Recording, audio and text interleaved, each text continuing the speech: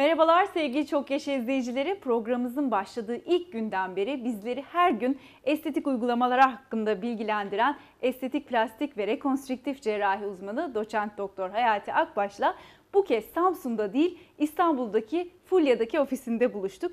Konumuz yüz gençleştirme. Bakalım yüz gençleştirme adına neler yapılıyor hep birlikte öğreniyoruz.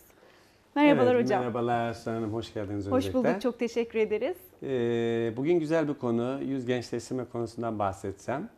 Ee, tabii şu an e, bu sohbeti İstanbul'da, Fulya'da yapıyoruz ama Samsun'dan geldim. Evet. Öncelikle Samsun'dan sevgiler, saygılar, selamlar tüm izleyicilere.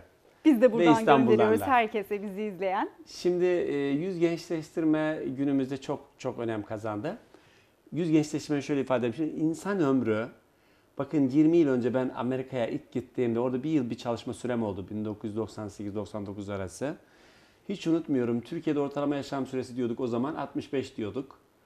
Ee, şimdi bakın bugün geldiğimiz nokta 20 yıllık bir süreçte bile kadınlarda 81, erkeklerde 79 yaşına gelmişiz. Ortalama yaşam ömrü. Bu şu demek. Artık insanların ömrü uzuyor. Ee, tabii ekonomik şartlar da iyileştikçe insanlar daha sağlıklı, daha huzurlu, daha güzel bir hayat yaşama arzusuna kavuşuyorlar. Evet. Ama ne yazık ki yaşam süresi uzadıkça da yaşlanmamız da hayatın bir gerçeği. Vazgeçilmez, Yaşlanıyoruz. kaçınılmaz bir Yer durum. çekimi bizi aşağı çekiyor.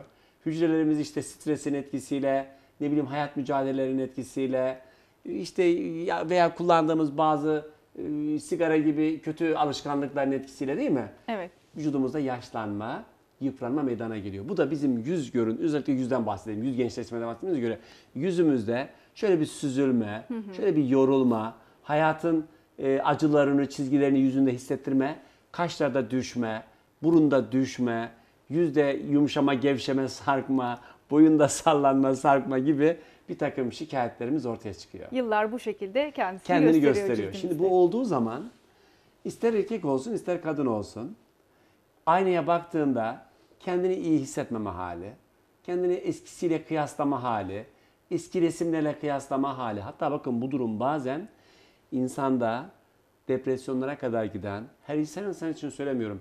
Her yaşlanan insan böyle olur demiyorum. Böyle de yanlış da anlaşılmasın. Tabii. Ama ne yazık ki bazı insanlar bu yaşlanma sürecinden başka insanlara göre daha fazla etkileniyorlar.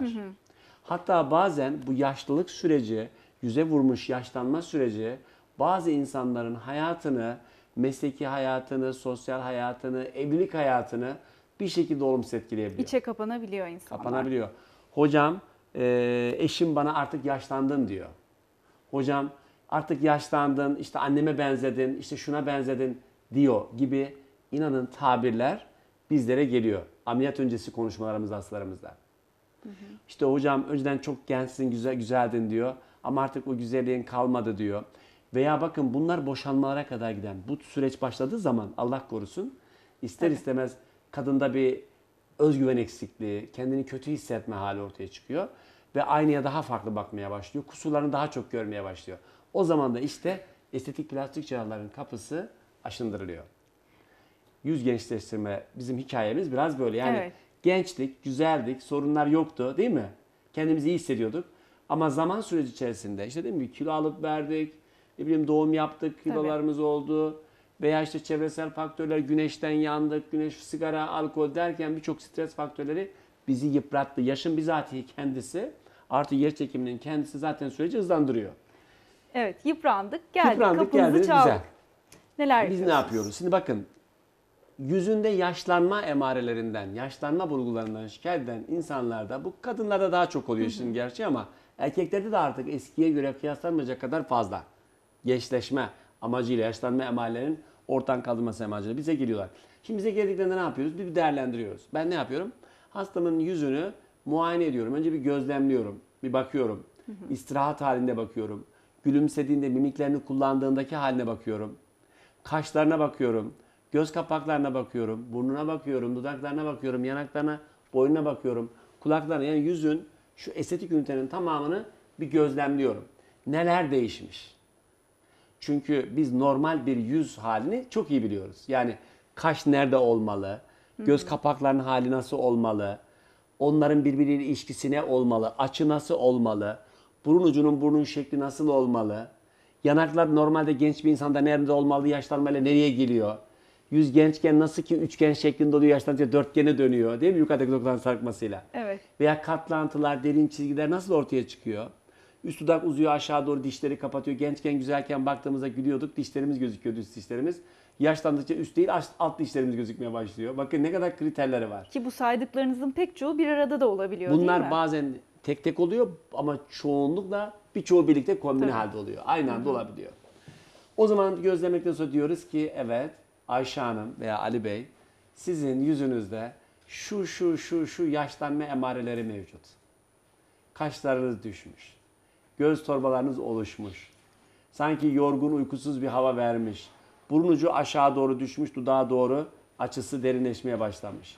Yanaklar elmacıklar olması gereken yerden aşağı düşmüş, yüz dörtgen halini almış. Çene kontürü bakın şu çene hattı ben hala gencim orada onu görmüş oluyorsun tabii. 50'li yaşlardayız. Ne güzel. Şimdi şu çene hattı normalde gençlerde fark edilir, gözükür. Tabii bende de yaşlanma emarları var. Ben esprisini söylüyorum ama bakın şu çene hattı. Evet. Çenenin çene olduğu belli olur ama yaşlandıkça dokular aşağı doğru sarkar. Çene boyun birbirine karışır. Hat gözükmez olur. Bu hat ortadan kalkar. Boyunda katlantılar ortaya çıkar. Kat kat veya orta hattan ayrılmalar ortaya çıkar. Evet. Şimdi bunların değerlendirmesini yaptıktan sonra nasıl düzelteceğiz konusunu Nasıl? konuşuruz. En Evet. önemli konu çözüm. Evet, tamam diyelim ki yaşlanma emarelerini tespit ettik yüzde. Evet. Neler yapılacak? Bazen bazı insanlarda bu saydığımdan sadece, sadece bir ve eksi bir arada olabilir. Örneğin, örnek veriyorum. Sadece göz torbaları, göz civarında yaşlanma emareleri oluyor da bazı kişilerde ilginç bir şekilde yüzün diğer kısımları gayet güzel oluyor. İlginç. Mesela yaşlanma emareleri göz civarlarında, göz torbalarında, göz kapaklarında kendini önce ele vermiş. O zaman ne yapıyoruz? Sadece bir göz kapağı estetiğiyle, üst göz kapağı ve alt göz torbalarının alınmasıyla yüzde bir gençleşme, bir bakışlarda canlanma, bir freşlik hissediyor ve genç olduğunu, gençleştiğini fark ediyor. Gözlerden o yaşlılığı anlaşıyor. Diğer kısımlarda gerçekten fazla bulgu yok.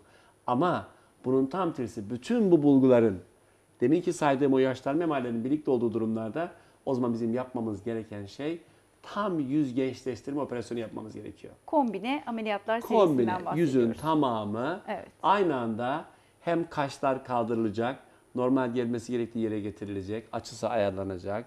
Hem üst göz kapağındaki o et sallanmaları, deri fazlalığı, deri bolluğu ortadan kaldırılacak. Veya eğer göz çok çukurdaysa, yağ eksikliği varsa, yağ yastıkçı eksikliği tamamlanacak. Alt göz kapağında torbalanma varsa o yağ torbacıklar ya yeniden şekillendirilecek ya da o oradan alınacak. Deri fazlalığı varsa yine deri fazlalığı alınacak. Elmacıklar aşağı doğru sarkmış elmacık o çıkıntılar yukarı doğru normal olması gerektiği yere getirilerek yüzün görünümü 3 boyutlu projeksiyonu normal hale getirilecek.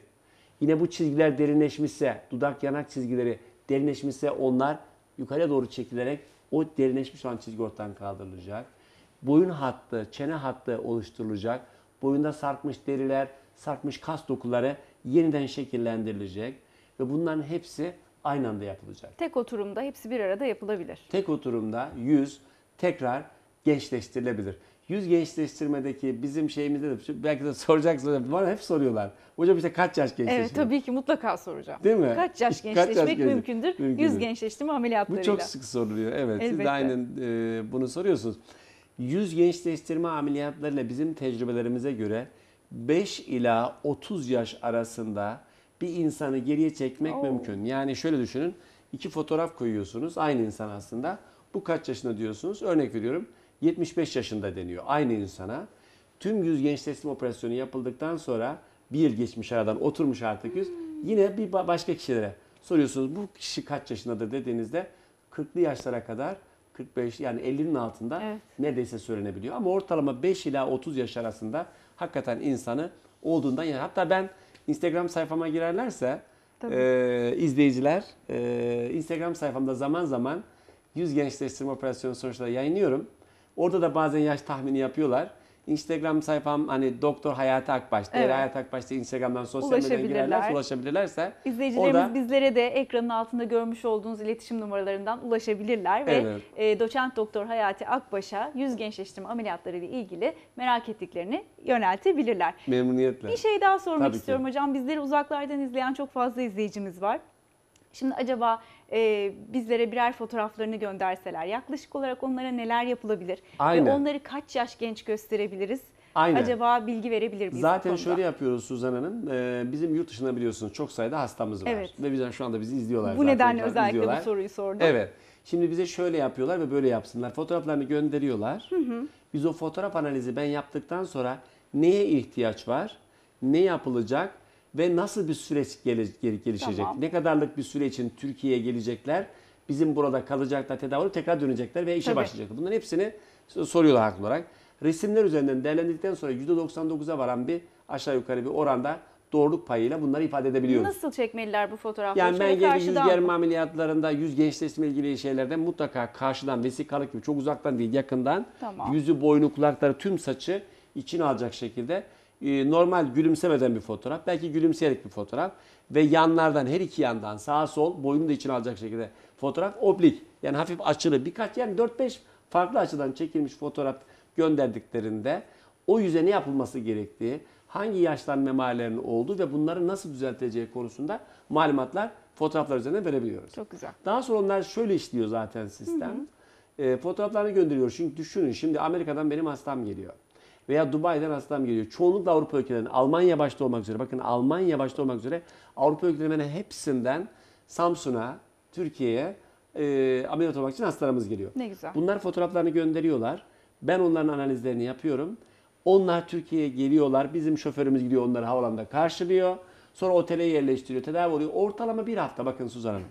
Yüz gençleştirme ameliyatlarında genellikle ortalama bir hafta süreli misafir ediyoruz onları. Az önce bahsettiğiniz bu kadar çok kusurun Evet. kombine bir şekilde düzeltilmesi bile en fazla bir hafta Bir hafta, 7 gün kalıyorlar. Güzel. 8. günde uçağa tekrar o havalandan şoförümüz alıyor. Havalanına götürüyor. Uçağa bindiriyor ve gönderiyor. Yani yaklaşık 7 gün bizde kalmış oluyorlar. Gidiş geliş saysan 8 günlük bir süreç aslında Tabii. onlar için. İşe başlamayı çok merak ediyorlar. Hocam yüzümü gençleştireceğim, gerdireceğim. Ne zaman başlarım? Ortalama 3 hafta. Bakın ben 2 hafta önce bir e, beyefendi ameliyatını yaptım. 68 yaşında. 68 yaşında ama yani hakikaten ameliyat öncesinde 68 de gösteriyordu, 78 de gösteriyordu. Bugün gönderdim onu ben memleketine. 40'lı yaşlarına geri döndürüp Yani ben ona tabii 40'lı dedim ama 40 olmasa bile e, hakikaten e, artık ona 50 demek biraz ne zor. güzel. Bu da o insanın moralini, motivasyonunu ve özgüvenini çok derinden etkiliyor. Bu iş adamı bir arkadaş. Ama hocam ben iş ortamlarında diyor veya farklı arkadaş ortamlarında kendimi iyi hissetmiyordum. Kendimi güçlü hissetmiyordum. Şimdi aynaya baktım diyor hocam şu an bile hani şiş haliyle, henüz mor haliyle tabi ister istemez ufak tefek şişlikler morluklar olacak. Onun için diyorum zaten 3 hafta sonra ortalama iş hayatına normal hayata dönmek için bir hafta Samsun'da kalıyor ama gittiklerinde bir iki hafta istirahat ettikten sonra normal günlük yaşantılarına dönecek hale geliyorlar. Yüz germe ameliyatları için yurt dışından size çok başvuru oluyor mu? Oluyor, onu da biliyorum. Evet. Neye evet. bağlıyorsunuz bunu Şimdi tabii hocam? yurt dışından gerçekten çok fazla sayıda insan hocam ben yaşlandım ne olur bir gençleşmek Tabii. istiyorum arzusuyla müracaat ediyorlar. Yurt dışından bize talebin fazla olmasının sebebi bir kere şunu unutmayalım. Türkiye gerçekten estetik cerrahi konusunda bizim tecrübemiz çok yüksek. Türkiye Estetik Plastik Cerrahi Derneği, Türk Estetik Plastik Cerrahları dünyada en iyi pozisyon olan yerlerden bir tanesi. Ben hep söylüyorum dünyada 3 ülke bu konuda gerçekten çok ileri. Türkiye, Brezilya ve Amerika. Bir de şu özelliğimiz var. İyi bilinmenin yanında fiyat avantajı var. Türkiye'deki fiyat koşulu, ekonomik koşullarla o ülkeler, Avrupa ülkelerine karşılaştırıldığında muazzam bir fark var. Yani oradakinin çok daha uygun koşullarıyla burada hem bir tatil yapma, Oh. hem operasyonu gerçekleştirme hem de bu operasyonu yüksek başarı oranlarıyla gerçekleştirme insanların arzusu. Avrupa insanı takdir edersiniz ki bazı kriterlere ki özellikle bu kriterlere Evet. çok dikkat ediyorlar. Bu yüzden Avrupa'dan çok fazla sayıda hastamız var. Hatta Almanca Instagram sayfamızda açtı En arkadaşlarımız. çok başvuru Almanya'dan En çok Almanya başlıyor. Avrupa'dan en çok başvuru Almanya'dan bunu söyleyelim mi? ama Doğru. onun dışında tabii İngiltere'si de var, Fransa'sı da var. Bakın İtalya'sı da var. Hatta bu şu adını dahi bilmediğim Avrupa ülkelerinden insanlar bakın öyle küçük e, Liechtenstein mesela diye ülkeden hastalarımız geliyor çok ilginç. E, Nerelere kadar ulaşmışsınız Nerelere kadar hocam? ulaşılmış Çok tabii. güzel. Bu da tabii e, Türkiye'nin gerçekten bu konudaki bilinirliğinin e, olmasından kaynaklanan bir durum. Sizlerin başarıları sayesinde hocam. Çok teşekkür ederim. Bizler Çok de sağ gurur duyuyoruz. Çok, Çok teşekkür ediyoruz. Çok değerli bilgiler aldık sizden yine. Ben teşekkür ederim sana. Sağ ol. Evet, estetik ve plastik cerrahi uzmanı doçent doktor Hayati Akbaş'la İstanbul Fulya'daki ofisinde buluştuk bu sefer. Ben aklıma gelen tüm soruları yöneltmeye çalıştım ama sizin hala sorularınız varsa lütfen ekranın altında görmüş olduğunuz iletişim numaralarından bizlere iletin.